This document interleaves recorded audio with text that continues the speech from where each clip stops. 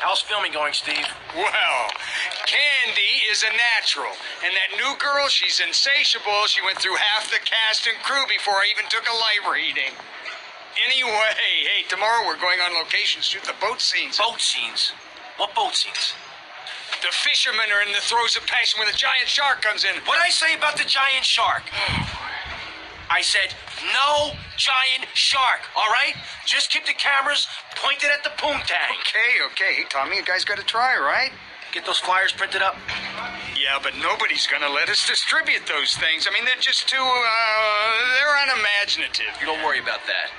I've got my own ideas for distribution. Okay. Hey, Candy, uh, in my trailer.